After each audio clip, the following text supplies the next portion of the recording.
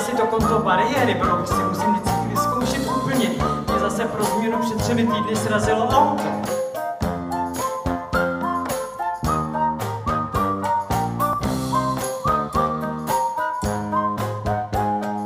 Zacvali nejstejně na hlas, jenže všichni akorát.